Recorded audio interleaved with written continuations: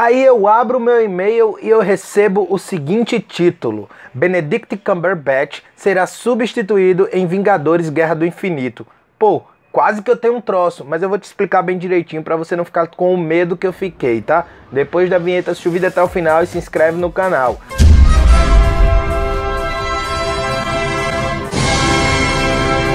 Pessoas não pessoas, coisas não coisas, geeks e não geeks, nerds e não nerds. Recebi hoje uma notícia que quase que me mata, cara. Que Benedict Cumberbatch, o Doutor Estranho, seria substituído por outro ator em Guerra do Infinito. Aí eu fiquei, poxa, meu irmão, não pode fazer isso. O cara é o cara. Ele parece demais com o desenho. Ele foi muito bem no filme. Por que vão substituir o cara? Tem que ter um bom motivo.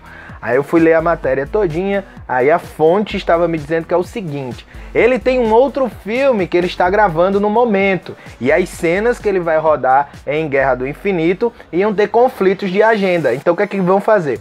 Vão botar o dublê não vai mostrar o rosto, só vai ser o corpo. E depois, quando as gravações desse filme que ele está fazendo agora terminarem, aí ele vai e insere os close-ups e refaz todo o diálogo sozinho. Aí se, se precisavam até colocar a cara dele digitalmente em cima da cara do dublê. Como já estão fazendo aí, tá dando até bem certão, como o Hug One fez e tal. Aí eu me aliviei um pouquinho mais. Só que eu acho que isso pode perder um pouquinho do ritmo, porque o ritmo dado pelo ator não vai ser o mesmo que dado pelo dublê, mas vai ser uma grande oportunidade para esse cara do dublê aí aparecer, né? Ou melhor, mostrar que ele é bom. Agora a gente vai curtindo, compartilhando, se inscrevendo e prestando atenção no que sair sobre isso. Até a próxima e tchau. E clica no sininho para receber notificação, tá? Se não receber a notificação, entra aqui todo dia.